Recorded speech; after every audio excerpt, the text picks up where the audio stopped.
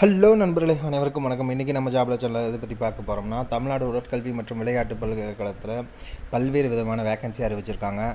என்னென்ன வேக்கன்சி அதுக்கான வயது வரம்பு என்ன அதுக்கான சம்பளம் என்ன அதுக்கான கல்வி தகுதி என்ன அதோட தேர்வு முறை என்ன இது எல்லாத்தையும் பார்க்குறதுக்கு முன்னாடி இன்னும் நம்ம ஜாபல சேனலை சப்ஸ்கிரைப் பண்ணாதவங்க மறக்காமல் சப்ஸ்கிரைப் பண்ணுங்கள் அதே மாதிரி பக்கத்தில் இருக்க பெல் ஐக்கானையும் மறக்காமல் கிளிக் பண்ணுங்கள் இந்த வீடியோவை ஸ்கிப் பண்ணாமல் ஃபுல்லாக பாருங்கள் வாங்க வீடியோக்குள்ளே போகலாம் நண்பர்களே இதுதான் பார்த்தீங்கன்னா தமிழ்நாடு உடற்கல்வி மற்றும் விளையாட்டு பல்கலைக்கழகத்திலிருந்து அறிவிச்சிருக்க அஃபிஷியல் நோட்டிஃபிகேஷன் இதோட லிங்க்கை நான் அந்த வீடியோ டிஸ்கிரிப்ஷனில் கொடுத்துருக்கேன். மறக்காமல் டவுன்லோட் பண்ணி செக் பண்ணிவிட்டு அதுக்கப்புறம் அப்ளை பண்ணுங்கள் வாங்க வீடியோக்குள்ளே போகலாம் இது இது எதுக்கான வேக்கன்சின்னு பார்த்தீங்கன்னா இதில் அசிஸ்டன்ட் ப்ரொஃபஸர் ப்ரொஃபஸருக்கான வேக்கன்சி அறிவிச்சிருக்காங்க. Controller of examination professor assistant professor deputy director of physical education assistant professor and assistant இன்ஜினியருக்கான வேலை வாய்ப்புன்னு சொல்லியிருக்காங்க. இதுக்கான நோட்டிஃபிகேஷன் எப்போ அறிவிச்சாங்கன்னா இருபத்தெட்டு இருபத்தெட்டு ஒன்று ரெண்டாயிரத்தி இருபது. இதை நீங்கள் அப்ளிகேஷன் லாஸ்ட்டாக அனுப்ப வேண்டியது எப்படின்னா இருபத்தி நாலு ரெண்டு ரெண்டாயிரத்தி இருபது சாயந்தரம் அஞ்சு நாற்பத்தஞ்சுக்குள்ளே நீங்கள் இதுக்கு அப்ளை பண்ணால் மட்டும்தான் அக்செப்ட் பண்ணிக்குவாங்க.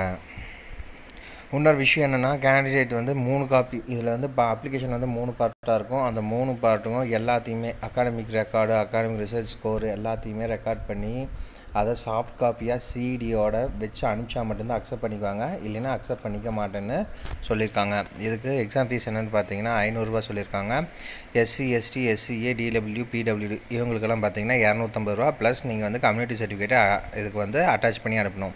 இது வந்து டிடி எடுத்து அனுப்பணும். எந்த பேருக்குன்னு பார்த்தீங்கன்னா the register Tamil Nadu physical education sport university payable Chennai இதுக்கு இன்னொரு விஷயம் என்னென்னா இதை நீங்கள் கவரில் அனுப்புகிறப்போ என்ன போஸ்ட்டுக்கு போடுறீங்கிறதும் மறக்காமல் நேம் அண்ட் அட்ரஸ் ப்ளஸ் அந்த போஸ்ட் இதை மென்ஷன் பண்ணி அனுப்புங்கன்னு சொல்லியிருக்காங்க இது பார்த்திங்கன்னா என்னென்ன போஸ்ட் நேம்னு கொடுத்துருக்காங்க கண்ட்ரோலர் ஆஃப் எக்ஸாமினேஷன் அது டிபார்ட்மெண்ட் எக்ஸாமினேஷன் அது பார்த்திங்கன்னா ஒரு ஒரு போஸ்ட் சொல்லியிருக்காங்க ப்ரொஃபஸருக்கு வந்து மொத்தம் பார்த்தீங்கன்னா அஞ்சு போஸ்ட் சொல்லியிருக்காங்க அதுக்கு என்னென்ன இதுன்னு போடுங்க அசிஸ்டன்ட் ப்ரொஃபஸர் அப்புறம் deputy director plus assistant professor assistant civil engineer civil பார்த்தீங்கன்னா இது மொத்தமாக அறிவிச்சிருக்காங்க. நீங்கள் ஃபஸ்ட் செக் பண்ணுங்கள் எந்தெந்த கே எந்தெந்த கம்யூனிட்டிக்கு என்னென்ன வேகன்சின்னு அறிவிச்சிருக்காங்க.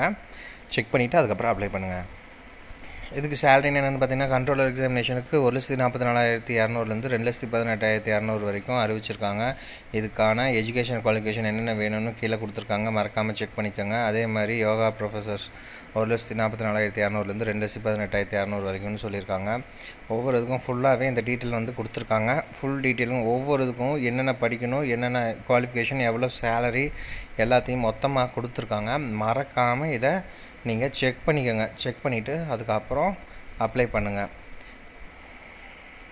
இதில் அசிஸ்டன்ட் சிவில் இன்ஜினியருக்கு மட்டும் உங்களுக்கு வந்து பிஇ e முடிச்சிருக்குன்னு சொல்லியிருக்காங்க. அவங்க ஏஜ் லிமிட் பார்த்தீங்கன்னா எஸ்சி எஸ்சி எஸ்டிக்கெலாம் பிசி எம்பி அதர்ஸ் ஜென்ரல் கேட்டகரிக்கு மட்டும் முப்பது வயசுன்னு சொல்லியிருக்காங்க. மற்ற யாருக்கும் வந்து நோ ஏஜ் லிமிட்டுன்னு அறிவிச்சிருக்காங்க. இன்னொரு விஷயம் அறிவிச்சிருக்காங்க என்னென்னா கொஸ்டின் பேப்பர் பார்த்திங்கன்னா paper one and paper two பார்த்திங்கன்னா இங்கிலீஷில் தான் செட் பண்ணியிருக்கேன்னு அறிவிச்சிருக்காங்க. ஓகே நண்பர்களே இதில் என்னென்னா ஒரே விஷயம் இந்த இதை பிடிஎஃபை மறக்காமல் டவுன்லோட் பண்ணிக்கோங்க. ஏன்னா மொத்த டீட்டெயில் இதில் கொடுத்துருக்காங்க. நீங்கள் அதை டவுன்லோட் பண்ணி ஒவ்வொன்றா நான் சொன்னேன்னா ரொம்ப லேட் ஆயிரும். அதனால தான் நான் சொல்கிறேன் மறக்காமல் டவுன்லோட் பண்ணி படிச்சுக்கோங்க. யார் யார் எது எதுக்கு அப்ளை பண்ணுறீங்களோ மறக்காமல் இதில் செக் பண்ணிவிட்டு அதுக்கப்புறம் அப்ளை பண்ணுங்கள் சேல்ரி பார்த்திங்கன்னா எல்லாமே ஹையர் சேல்ரி தான் கொடுக்குறாங்க. ஓகே நண்பர்களே இந்த வீடியோ பிடிச்சிருந்தா லைக் பண்ணுங்கள் ஷேர் பண்ணுங்கள் கமெண்ட் பண்ணுங்கள் அதே மாதிரி மறக்காமல் உங்கள் ஃப்ரெண்ட்ஸுக்கு இதை ஷேர் பண்ணி விடுங்க நாளைக்கு உங்களை வேற ஒரு வீடியோ மூலிமா சந்திக்கிறேன். நன்றி.